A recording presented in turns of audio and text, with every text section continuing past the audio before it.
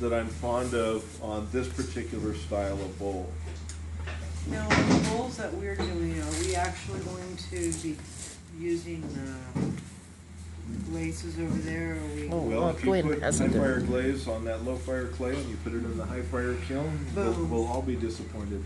Boom. Because your Okay. bowl will melt and flow on the shelf. Well, I'm using high fire clay too, so that's the reason why I am. Okay.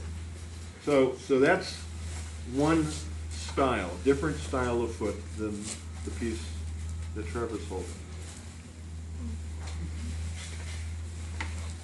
I got interested in a different shaped bowl, one that had a little bit more gestural expressiveness to it.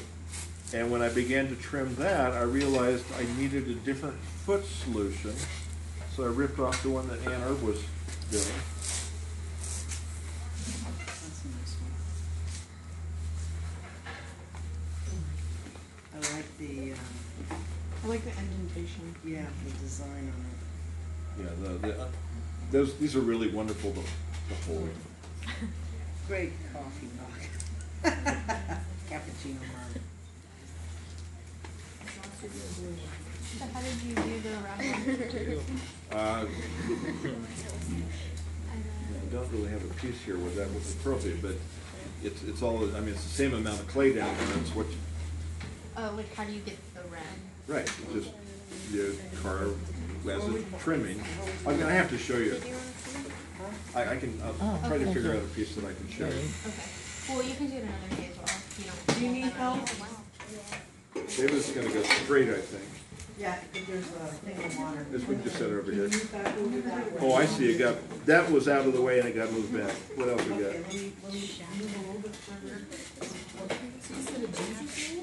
Which way you wanna go, this way? Or that way? Okay. Hold on. Ginger pot. I don't even know. Not a go, hole. is that better?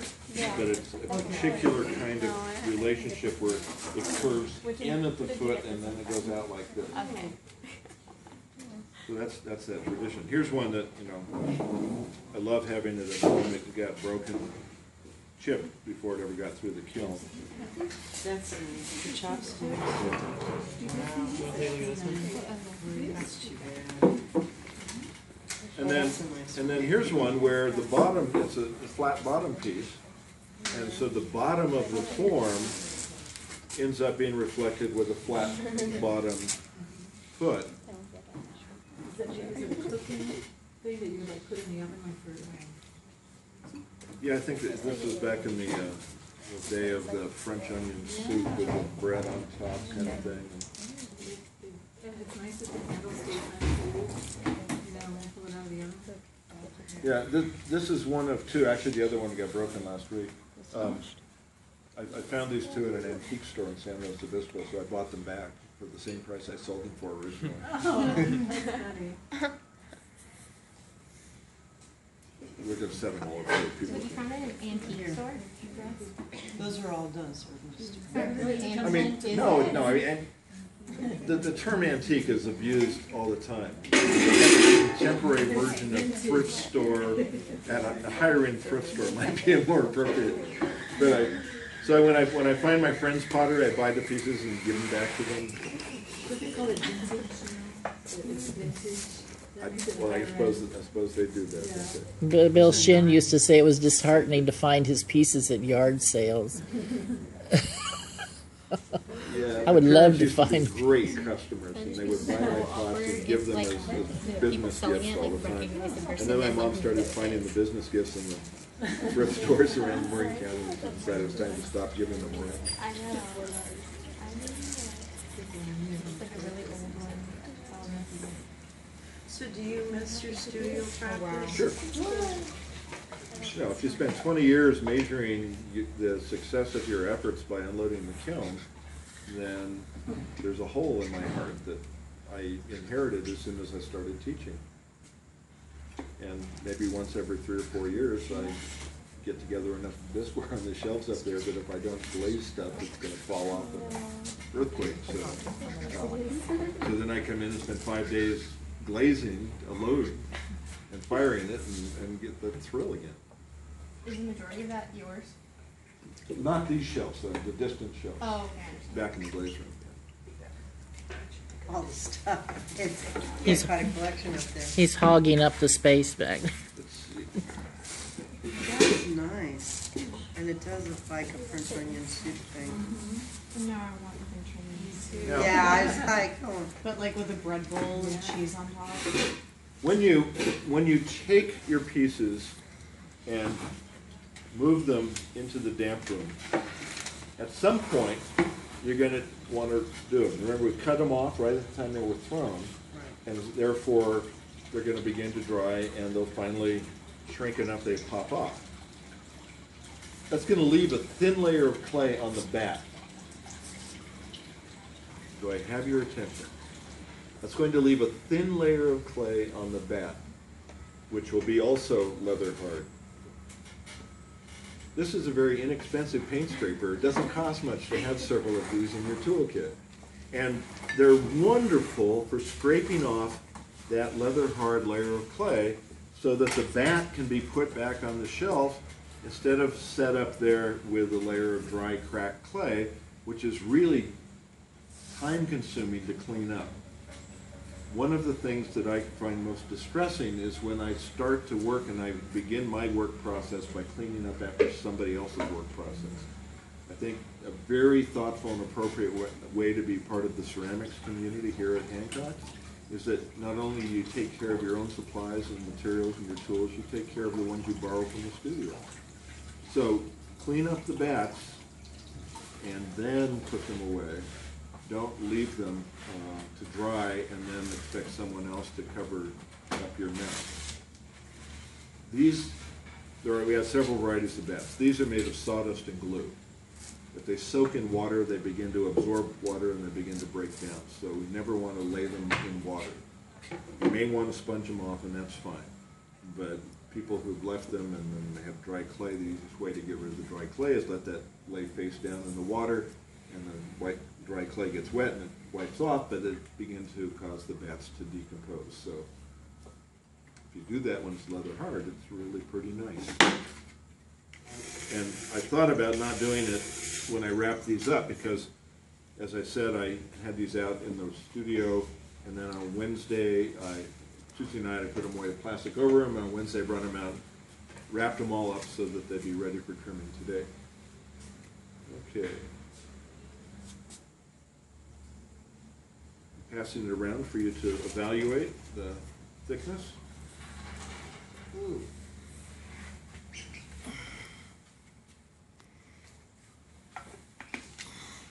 Okay, so let me rephrase, rephrase my question. On Okay. The ones that we're doing here. You're, you doing low fire glazes, Okay. We can do underglazes. and you can use underglazes as well. That's what I wanted.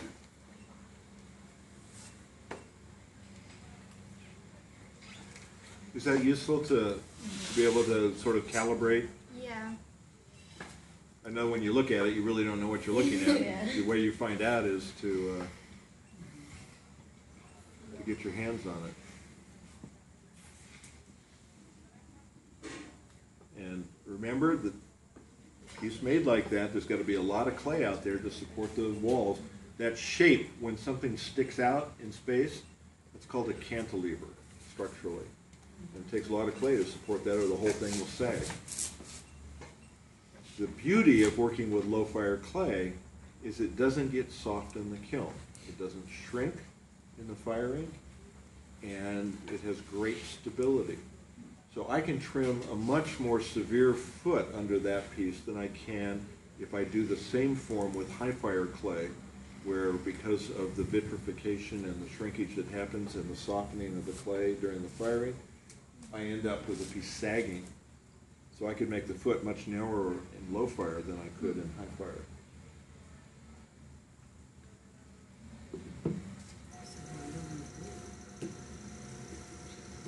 On a wide piece like this, I can get away with even less preparation.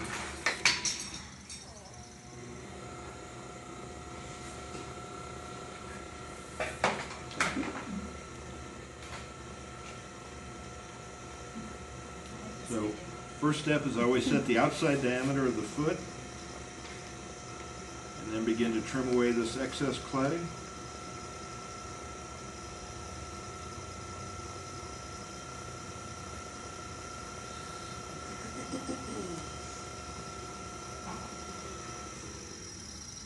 During the years of being at home in the backyard making pots and having three children, as you can imagine, it was not unusual that the kids would come into the studio while I was working. And one of those, my middle child, Michelle, used to love to have me do this. It's like toothpaste. And she would sit there beside me and let that, that ribbon of clay run right through that, and she just thought that was so cool. Glad she wasn't going. And- Gotta plug her up, yeah. And one of those, one of those times, I had recycle buckets like this, right over here, where all that, all the scrap clay would go. And I turned around and she'd taken off her clothes and she was in the clay bucket. Does she throw clay now? No, she's a, she's a yoga teacher in Santa Barbara. She did a career as a professional dancer in Europe before then. Oh, She got tired of the emotional chill of Scandinavia, so she decided to come home to California and family and warmth, and did so by way of India, where she met a guy from Santa Barbara in a yoga ashram, and they trained together, and they now are parents of twin grandsons, my grandsons. Their son's ten years old. Now she calls and says, Dad, will you do clay camp? And they come up for a week and I set up an outdoor studio for the boys and we make stuff and hmm. Like grandpas are supposed to do, you know? If they were girls, they'd be in, in the, in the kitchen with grandma making cookies. Not necessarily. not in, not in my family. They'd be out in the studio with me. Yeah. Come on, you're too. I spent time out in the shop with my grandfather when he was doing woodwork or machine work. My grandfather used to take us hunting. Hunting? Hunting, yeah.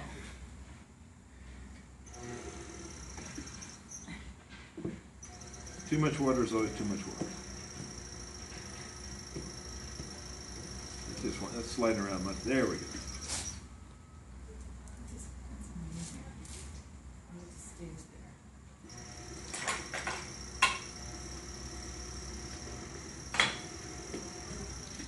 That's. I meant to bring a towel. I'm gonna borrow somebody's here. Breaking all the rules.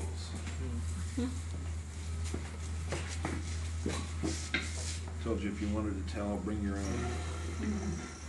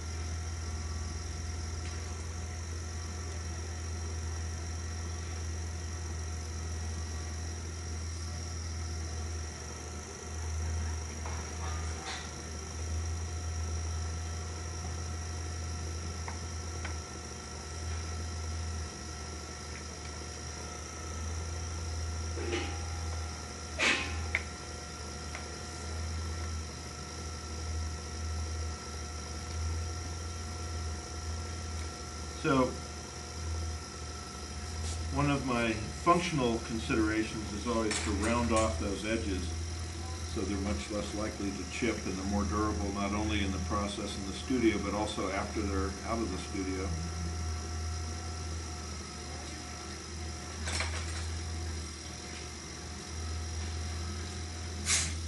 Well, the Kemper Clay Company and all the knockoff companies around them make tools Sometimes the most important tools are the ones that you make for yourself to meet a particular need. So I, I happen to uh, have a great fondness for sushi. And on Wednesdays, I stay here and uh, fire the high fire kiln, to finish the firing. And so on every Wednesday night, you could find me if you were searching for me at Atari Yacht. And, and I always bring home two chopsticks at the end of the evening, which can serve many purposes. Here's another side of that storyline, is that when you're doing your work, if you don't lose some portion of your work in the process, then you might be working too safely. If you're not pushing the boundaries of your competence, of your skill and your experience.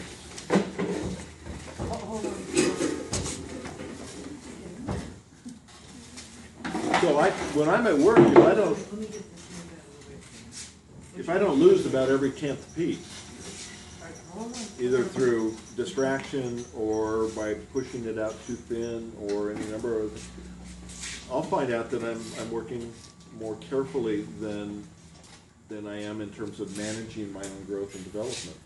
Um, I also find that when I throw pieces in these demonstration environments where I split attention, the pieces are always heavier than I would prefer. It's just a byproduct of, I'm not here to show you how to not succeed, so here's how to be safe. Okay, uh, the one on the, um, bat, This one? that one. So I didn't cut this one off. I mean, red, or, thank you.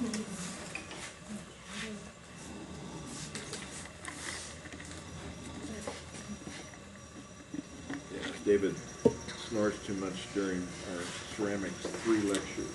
Has somebody to pinch him, so I'm distracted. And he's awake now. He heard you. My dog does that, and so does my.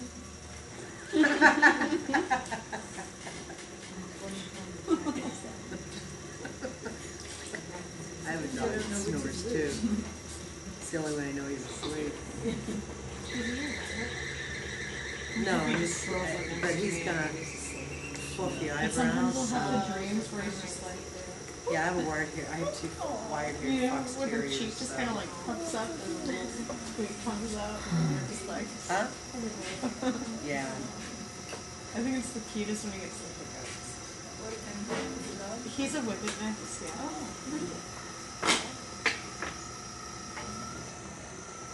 He's like golden.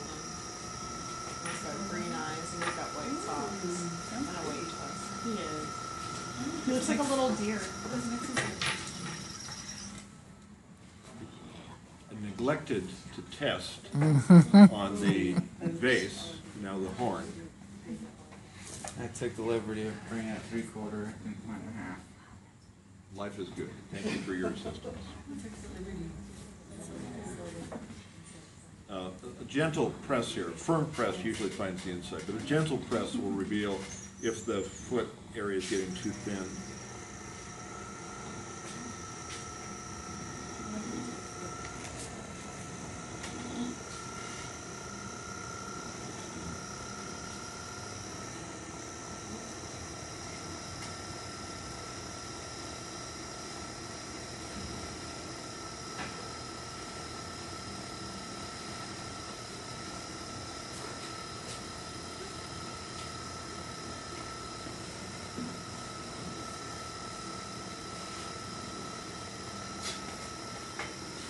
So for most of you,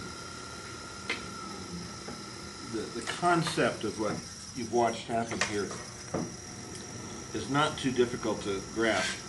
There's, a- just like centering, there's a lot to it that you can't know until you try it. So you struggle with it, and then you can begin to process the information. Um,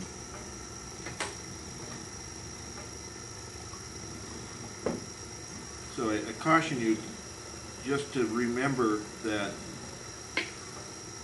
anything that I'm doing here is a rece- reflection of forty-seven years of working with clay. And so some of it might be more graceful than you experienced the first time you try it. The shapes don't even come close. Now, most of these underglazes and glazes ask for two to three coats. Are you going to go back and put another coat on, or No, this will is it be? a much thicker coat than if I was brushing it. Oh, okay. And, and the second thing about that is the, um, by virtue of, of applying the coating while the piece is rotating, even if it's a bit thin, it will have sort of a swirling character. It won't look like crosshatched, um, ugly brushstrokes. And when you're removing clay, you're doing a moisture layer under that, that the, the colorant will stick to better than if you just. Yes, yes, that's my experience, is that little dampening on the surface was a, creating a, a better connection. Amberly, would you be kind enough to wash that?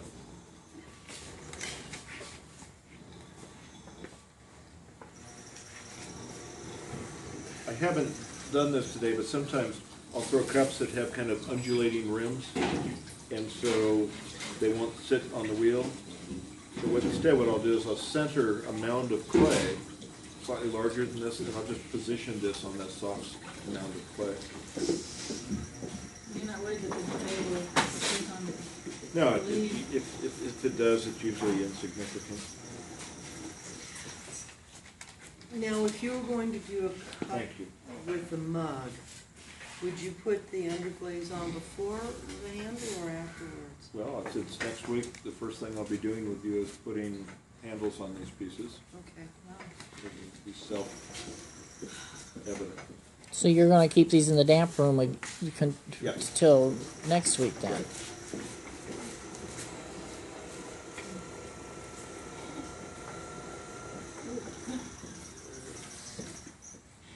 Stay, I.